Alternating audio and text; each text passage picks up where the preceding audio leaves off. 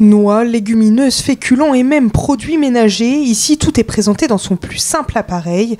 Cette épicerie située à Jarry a décidé de bannir tout type d'emballage pour proposer des produits en vrac, comme son nom l'indique, et ce pour inciter les consommateurs à réduire leurs déchets, une initiative qui séduit de plus en plus ici en Guadeloupe. J'en ai entendu parler et euh, donc c'est la première fois que je viens, je connais un petit peu le, concept.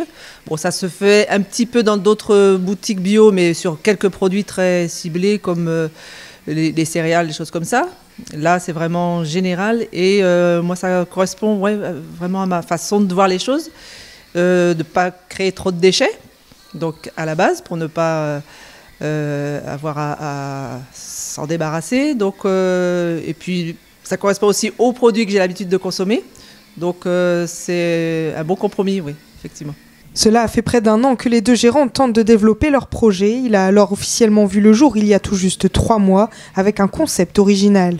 Le concept ici, c'est tout est en vrac. Euh, donc on a essayé de tout prendre en vrac, tout ce qu'on peut le prendre, on prend, donc les huiles euh, principalement.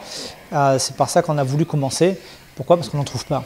On ne trouve pas d'huile en vrac, donc on s'est dit, allez, pourquoi pas, ce serait un bon concept d'en avoir. On sait qu'en France, il y en a beaucoup, en métropole, beaucoup de concepts comme ça. On s'est dit, pourquoi pas, on pourrait ramener ça ici chez nous en Guadeloupe. Et c'est important aussi pour nous de développer un petit peu euh, les produits locaux avec euh, de la farine de patates douces, de la farine de banane verte, voilà, la farine de fruits à pain, la farine de manioc qu'on trouve vraiment chez nous. On gaspille beaucoup d'aliments. En fait, moi, quand je suis arrivé ici, je me suis dit, mais peut-être que j'ai besoin que de 200 grammes de farine de manioc. Je trouvais ça complètement bête d'aller acheter un kilo ou d'acheter un kilo de farine euh, alors que j'en ai besoin que de 200 grammes. Et donc, on s'est dit, euh, c'est vraiment idiot, on gaspille vraiment trop d'aliments à l'heure d'aujourd'hui.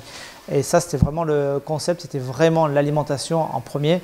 Après, nous, c'est arrivé vraiment le déchet plastique, mais la toute première chose, c'était euh, le gaspillage alimentaire. L'épicerie permet alors de se servir les doses strictement nécessaires grâce au système de libre service, une manière également de mieux maîtriser sa consommation.